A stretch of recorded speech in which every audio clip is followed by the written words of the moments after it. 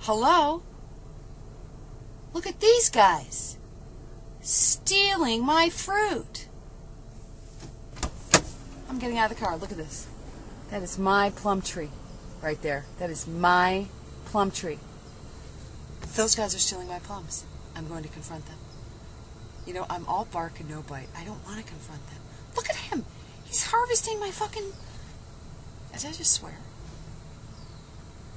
I have to. I have to get out of the car right now. I'm going to get out. See him?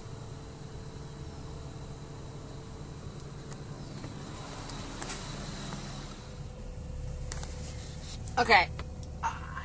What can I say? I. Uh, I get out of the car, I go over there, and within seconds, there's like four professional major fruit stealers with these long rods with blades and baskets, and I look and they've got all the plums, just dozens of plums in their basket, and they're just all looking at me. Ew! Whatever. I said, forget it. Just take them. And he's like, no, I mean, I said, what, what do you mean?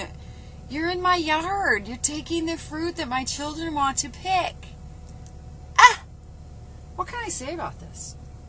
other than I swore on camera, which I promised myself I wouldn't do. I'm sorry about that, but hey man, there were fruit poachers. What was I going to do? Anybody got any people who steal their flowers, their fruit? Did you get like crazy? Let me know.